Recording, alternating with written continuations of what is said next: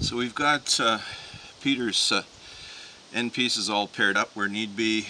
We've also done Paul's uh, pieces and we've also done Tom's pieces, pairing them up. And uh, as I was going through, checking to make sure that things were flush with the top, I came across a couple where it, one of the pieces wasn't flush with the other one. So what I've done is I've taken my orbital sander and uh,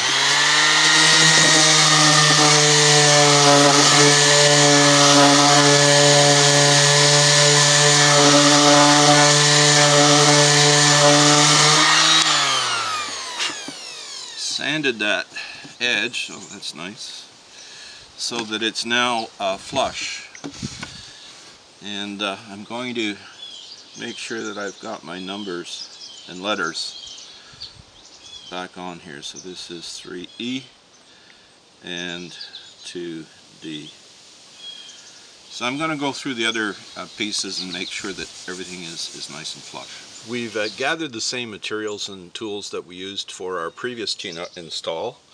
Uh, as before, we want to have things close at hand when we install the T-nut sleeves and the, the T-nuts. Uh, we don't want to be looking for a 2-inch bolt when all we've got at hand is a, a one inch bolt with the, the epoxy oozing uh, down our fingers. So what we have here is we have the end pieces that have been paired up uh, and fastened together with the wood screws.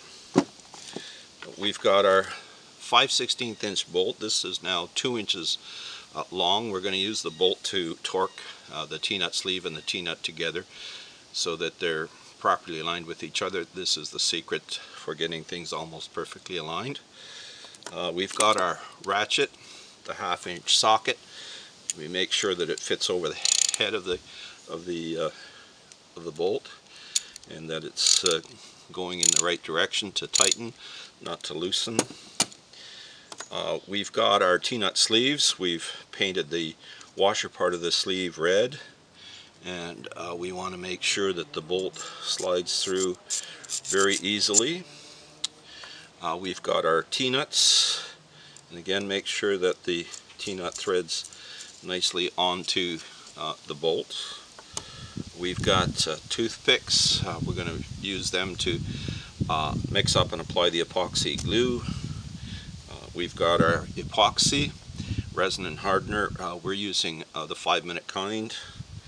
Uh, we've got some plastic lids here. This is what we're going to uh, mix the epoxy resin and the hardener on. Uh, we've got some odorless Varsol from Canadian Tire. Uh, that we're going to use that for cleaning the epoxy off our fingers. And we've got a rag in a dish that we're going to soak in Varsol uh, to clean the epoxy off our hands. I don't want to be reaching for something and I can't find it close by.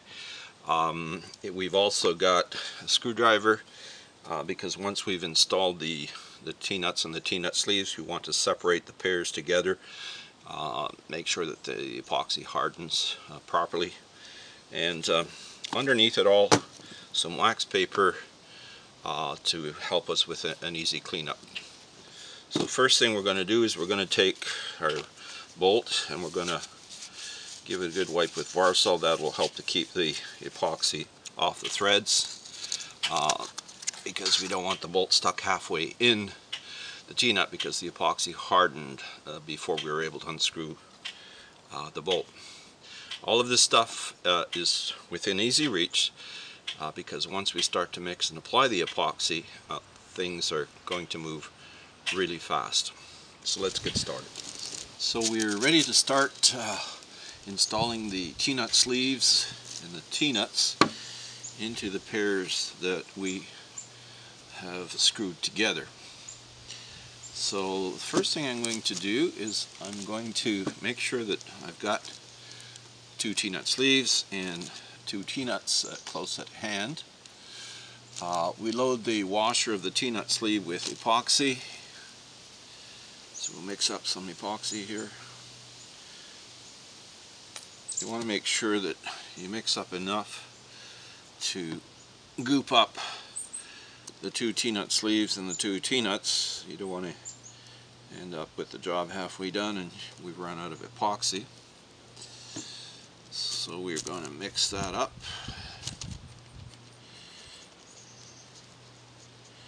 Doesn't take a lot to mix up epoxy. And we're going to take the T-nut sleeve and we're going to load up the washer part of the T-nut on the underside with some epoxy.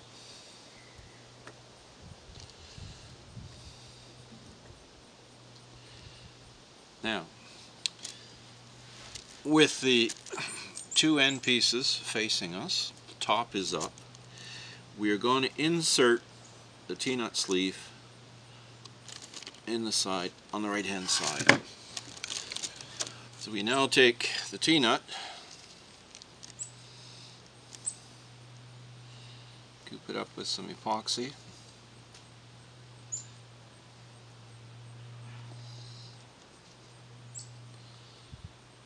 spread it around on the underside of the washer part of the T-nut, and we insert the T-nut on the left side.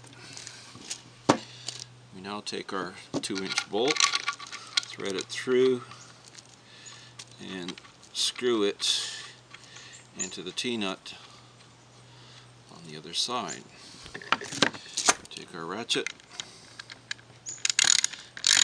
and we torque the T-nut sleeve and the T-nut together.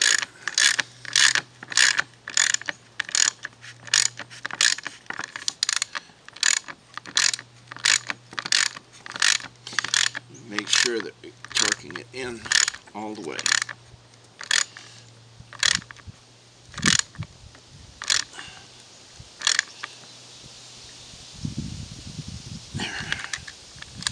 Got it torqued in. And now we take out our bolts.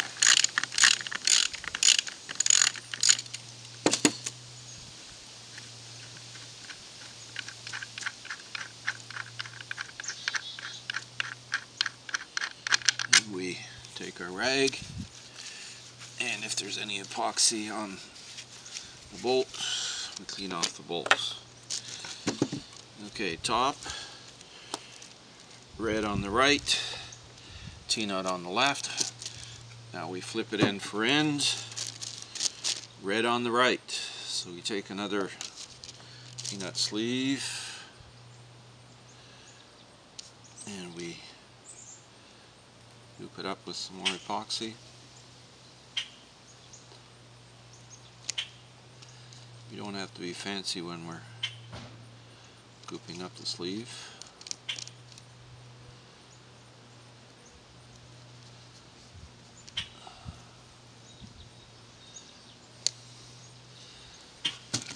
So we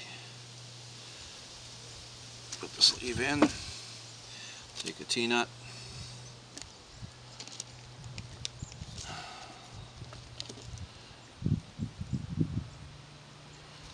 and goop up the T-nut with some epoxy.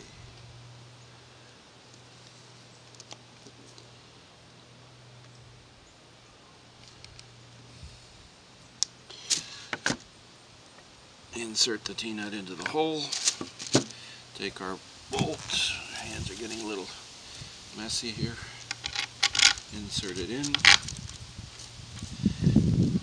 and screw it in.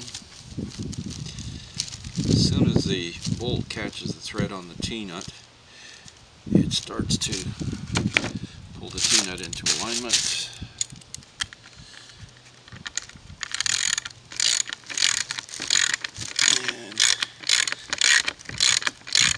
And we torque them both together.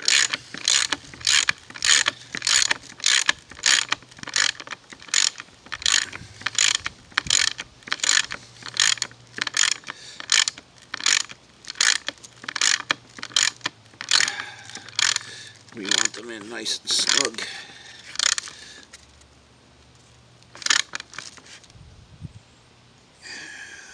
That's about it. Take the bolt out.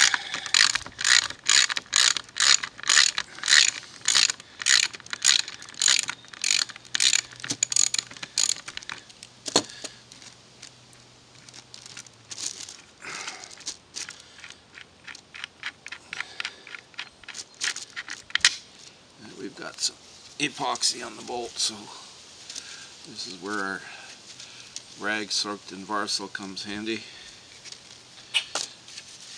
That's done. Now we take our screwdriver.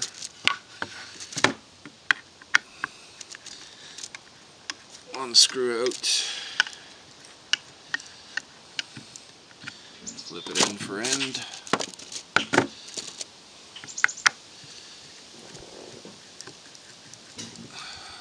screw out. Separate the two pieces. And there we go. One pair.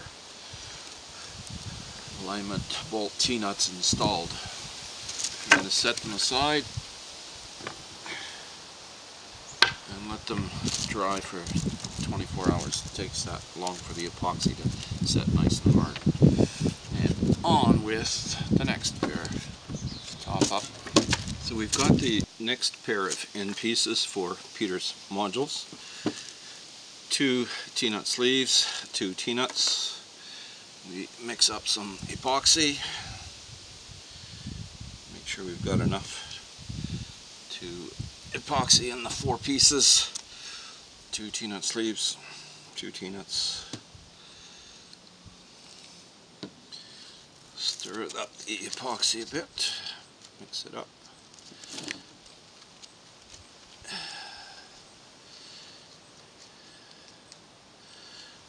And then coat the underside of the washer part of the T-nut sleeve.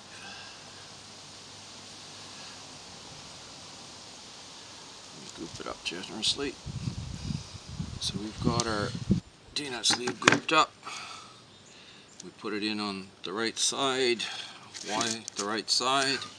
And that just happens to be the the convention that we picked. You could put it in on the left side if you wanted but I think right on the red sounds good.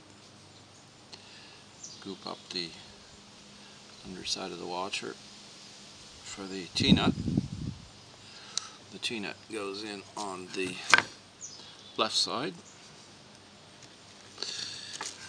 take our two inch bolt, feed it through. It's giving us a little bit of trouble, we'll just give it a little whack. There we go, got it in there. And now we crank it in.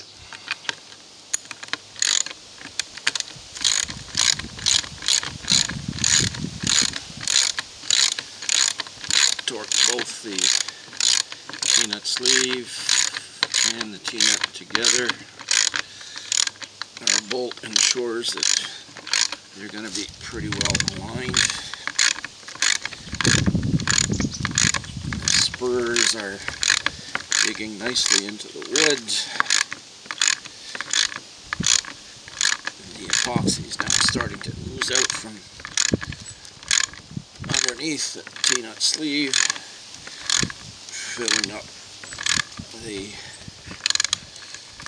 countersunk part very nicely with epoxy. When we've got this all done, we'll go back and fill up any spaces that aren't filled up with epoxy. We'll drizzle in some epoxy to, to fill up those spaces.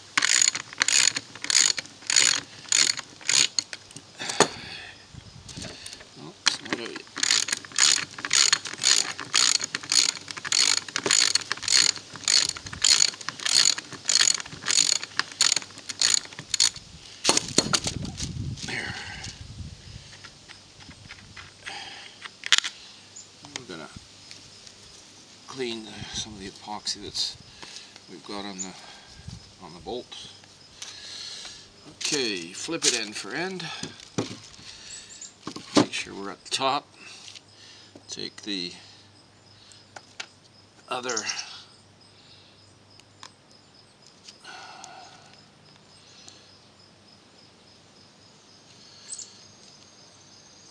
T-nut sleeve.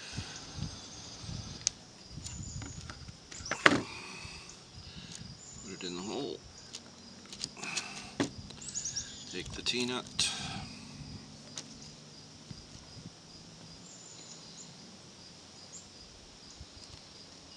Apply the epoxy to the underside of the washer.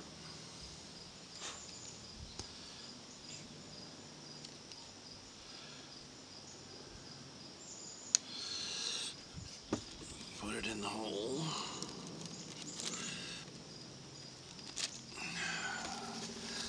Got to have that red egg.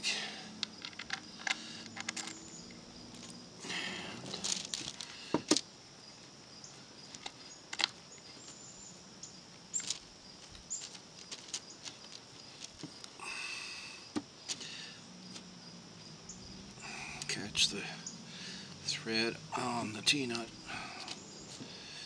and turned it in.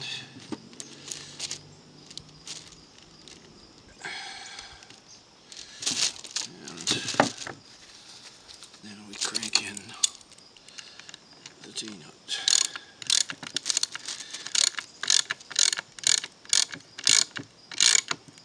There we go. And that's pulling in very nicely.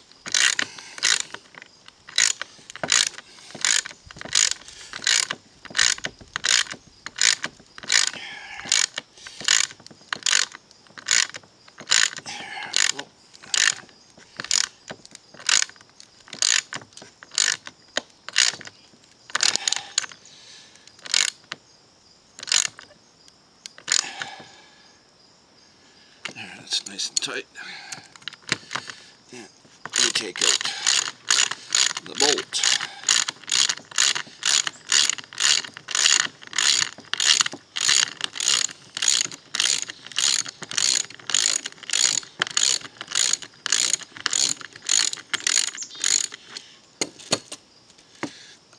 Not quite out yet.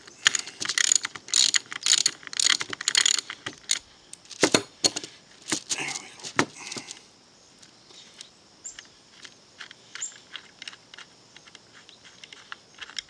There. We got the Sleeve and the T-nut nicely installed.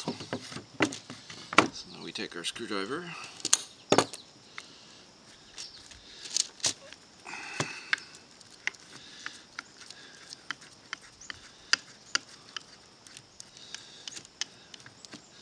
one screw out.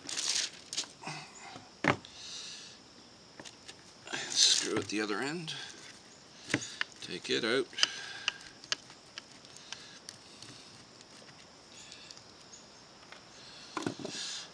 Separate the two pieces. And there we go. T-nut sleeve, T-nut. T-nut sleeve, T-nut. So we've got the T-nut sleeves and the um, T-nuts installed in the end pieces that we paired together. We're now left with two end pieces. One end piece is going to be at the far end of module number one, be connected with somebody else's modules. And we've got the end piece that's going to be um, at the far end of module number four, which is going to be connected to somebody else's modules. We could leave the holes that we drilled for the T-nut sleeves and the T-nuts, we could leave those empty. However, I prefer to load the end pieces, these end pieces that are going to be connected to somebody else's modules. I like to uh, install T-nuts and T-nut sleeves because maybe sometime in the future I want to build another module set that I can connect with bolts without having to use heavy duty C-clamps. I might want to connect the, the set that I'm going to build in the future to this set that I'm going to build right now. Now, I'm going to follow the same principle. And that principle being top, red on the right. So, I goop up a red T-nut sleeve with epoxy. And the underside of the washer part of the T-nut sleeve I insert it in the hole. Then I take my one inch bolt with the fender washer slide it through now I don't have any threads to pull in the T-nut sleeve but I do have a bolt or a uh, nut which I can then hold the nut in place take my ratchet and crank that T-nut sleeve into place.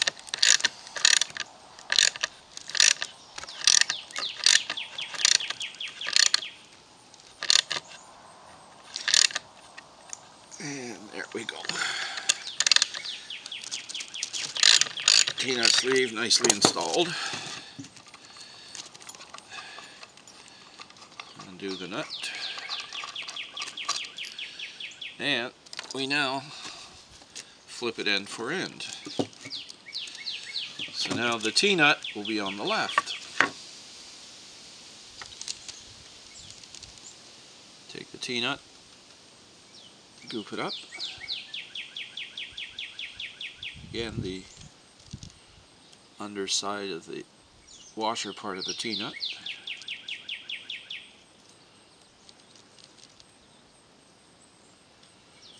Fit it in the hole.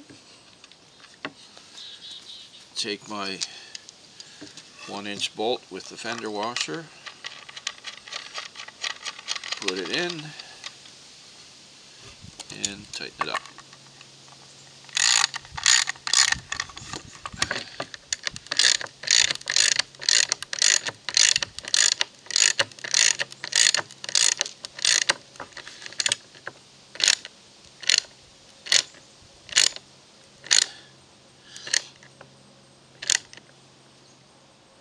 There we go.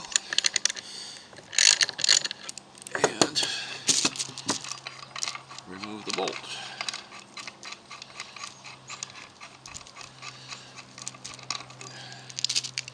And number one at the far end is done. Let's do end piece number two. Okay. Red is going to be on the right. Take the T-nut sleeve. Apply the epoxy to the underside.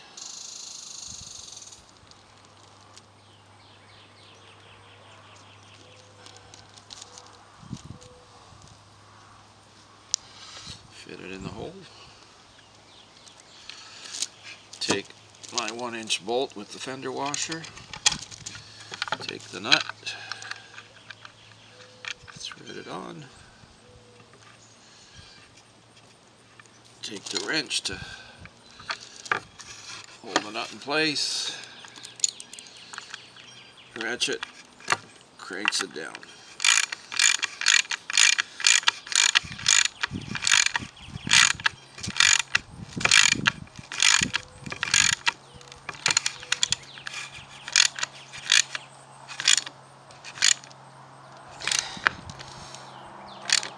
There we go.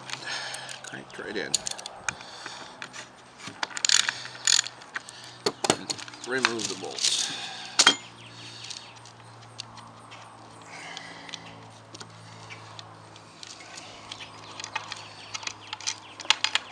T-nut sleeve installed. Flip it end for end. Top. T-nut is on the left. Scoop it up.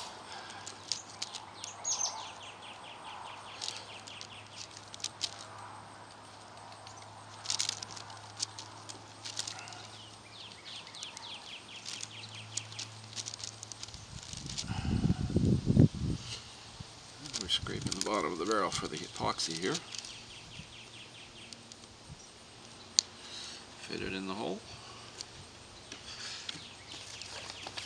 My fingers are getting sticky. Take the one inch bolt with the fender washer.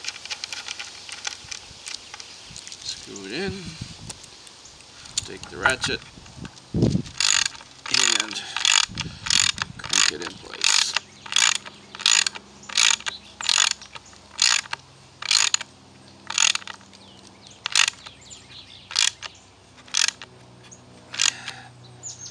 Nicely snug. Remove the bolt.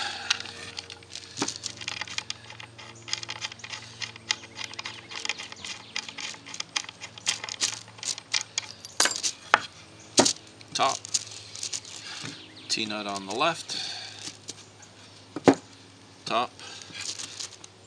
T-nut uh, sleeve on the right.